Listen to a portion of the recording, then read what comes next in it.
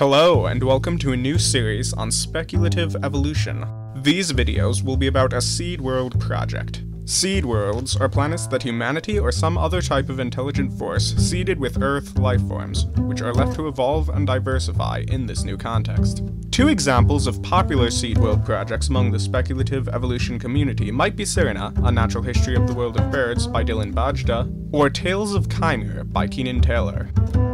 In today's video, we're focusing on a planet inhabited solely by cattle, along with some insects and other invertebrates. The surface of this world is covered in prairies of grasses and small weeds, meant to feed the cattle. This planet is approximately the same size as Earth, with similar conditions thanks to a terraforming project performed by humans. It was designed as a cattle farm, with life forms carefully selected to craft an environment perfect for producing the finest milk and steak.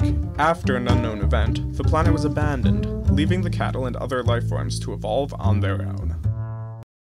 Before we continue, I'd like to remind you to consider subscribing. It's free, and you can always change your mind. I intend to make more spec biology content like this, along with some projects on subjects like world building and analog horror. If you enjoy any of these, then I'd suggest you to subscribe. I also would like to apologize for the lack of content on my main xenobiology series. I was working a job over the summer that took up a lot of my time, and just when I'd finished most of the artwork for episode 4, my hard drive broke. I hope to be getting that data recovered soon, so hopefully episode 4 is on the way. Anyway, let's get back to the video. Once the cattle are abandoned on the world I'll be calling Apollo, the first thing they'll do is multiply. A planet covered in an ideal food source, and without predators, is the ideal environment for a population boom. And boom it will. In only a couple hundred to a few thousand years, the cattle's numbers may have grown so fast that there's not enough food to go around. At this point, genetic changes from the seeded species will be minimal. Fast reproduction, meaning features such as quick sexual maturity and high number of offspring, will be selected for. However, as the population exceeds the food supplies thanks to a lack of predators, competition will swiftly become fierce. Behavioral changes are likely the first major adaptations we'll see on planet Apollo, Migration will be key. The massive herds can easily devour all grass in a given area, and thus must constantly be on the move. Since all land habitats on this planet are designed for grasses, the herds may end up circling the planet like a giant line of lawnmowers. Of course, the grass will grow over time, and likely faster than the herds can move. This may result in populations that travel behind the main herd as the grass regrows, or rings of similarly sized herds with distance between each other. Alternatively, the herds could oscillate their grazing, with populations claiming large patches of land that they travel around, although this could prove inefficient. Due to this period of overfeeding likely only lasting 10,000 to a few hundred thousand years, Apollo's herds will adapt a less organized strategy of circling the planet in several very unorganized rings. Another adaptation may be changes in body size. Different species will adopt different strategies. A smaller animal can survive on less food, leading cattle to grow smaller and reproduce more quickly if possible. If a population has a beneficial strategy like this, it would be evolutionarily disadvantageous to reproduce with individuals who don't employ this strategy, leading to selection against mating with differently sized animals and the planet's first speciation among its cattle.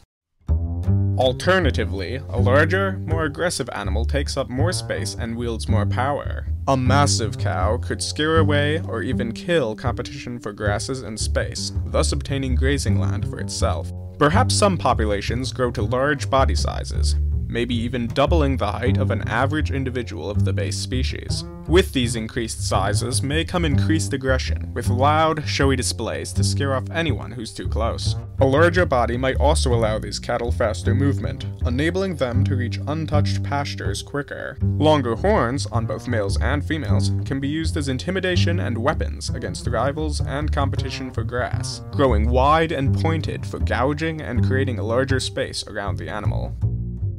While some species may evolve longer legs and lighter bodies for faster movement to reach new grasses, there might not be enough time yet to dramatically change up cattle's body plan into something more graceful. Despite these adaptations, competition for food will be as fierce as ever. If there aren't enough grasses to go around, eating another food source may become necessary. While no cattle are likely to be specialized in anything other than grasses by this point, some groups may broaden their diet to include other food sources. Insects are a likely candidate, making a good source of nutrition easily found amongst the grasses already eaten. Pretty much all cattle will probably eat them by mistake, but some might actively catch a small bug they see fluttering around their noses. Algae is another potential food source. The oceans of this planet, which may be more like giant lakes, will probably be clogged with green mats of phytoplankton and algae. These waters may also have massive populations of zooplankton, and both these life forms could serve as meals to the cattle. Perhaps some groups may adapt to wade in the water to eat algae, although it probably won't make up their entire diet. They might only supplement it with marine photosynthesizers when they don't have enough grass to eat. Another potential food source is carrion. Adapting to eat it may take longer than adapting to consume some of the other grass alternatives, but real cows already supplement their diets with small animals on occasion. And with corpses being so abundant, having only invertebrates and rot to consume them, there would doubtless be groups of cattle adapted to take more than a few bites. As consuming carrion becomes more common, perhaps with freshly dead cows being almost fully eaten by others around them, or scavenger subspecies, active carnivory might follow. It would likely start with killing calves or individuals adapted to smaller sizes. Such behaviors would likely evolve in the larger, more aggressive cattle, who can't as easily be fought off by a protective mother or a potential victim. These cattle might start with stomping prey to death, or eating defenseless calves alive, but may make the process more efficient with a killing bite. This could be facilitated with larger heads or sharper teeth, but massive changes to their body plans aren't likely to occur this early. With these advancements, and the advent of active predators, the dynamic on planet Apollo will change.